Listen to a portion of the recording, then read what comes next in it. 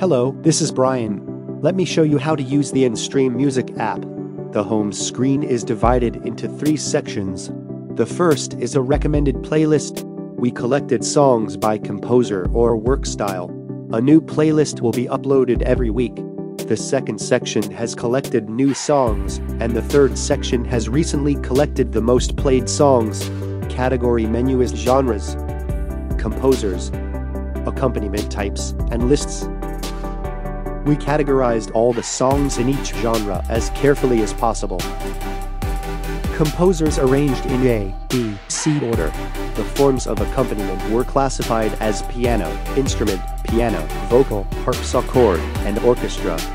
You can see what you missed on the home screen again. The search menu makes it easy and fast to search for songs you want with a variety of keywords. My page menu allows you to manage your account, purchase subscriptions, request new songs and manage my playlists. At more, you can check language settings, notice, FAQ, inquiries, and terms and conditions. Shall we find out how to find the song and put it in my playlist? Let's find Butt Botschaft of Brahms.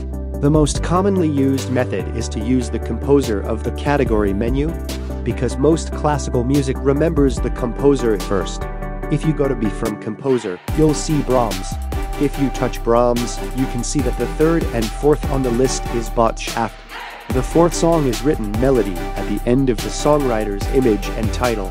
This is an accompaniment version with a melody to the piano sound. First, let's touch the version without melody on the third one. This screen is divided into three sections. In the first section, you can control the sound source. For the second section, you can choose three tempos.